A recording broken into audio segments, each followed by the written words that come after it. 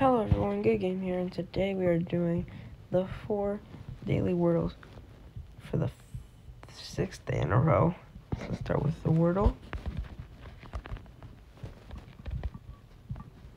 Can't spell. I really can't spell. Okay, so we have an S and an R. So let's go pilot. There's an O and a T, and a funky. This could have us figure out the word. There's an F. Frost. Let's go. Fourth try. First time getting fourth try. Now we do Globle. Should I start with Tajikistan, which is not even close, so maybe like Morocco. Okay, it's up from Morocco, so it's the UK. Ooh, it's Ireland. Okay, fourth try for that one. Now let's do the Worldle. Is that Ireland too?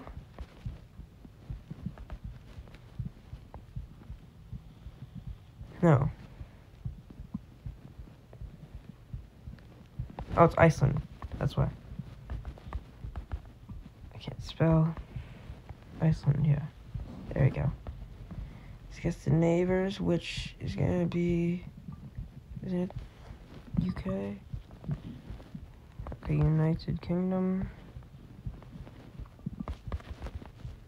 Ireland. Greenland. What's that one? I don't know what that one is. I'm gonna give up, but... Ooh, this is tough.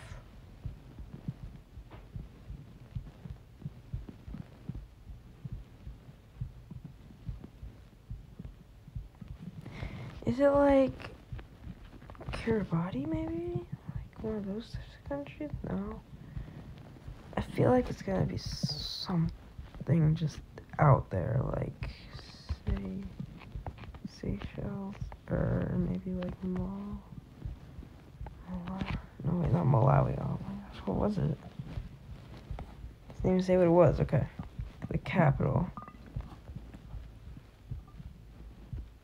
Um, um, is there anything just ice, ice, close ice?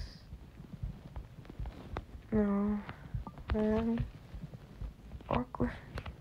I really don't know. Scroll through some.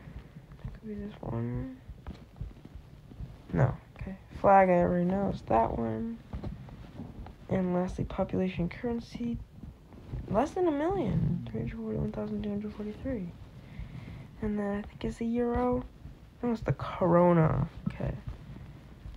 Lastly, we've got the Flagle. Let's try France, of course, first. No way, this is Iceland.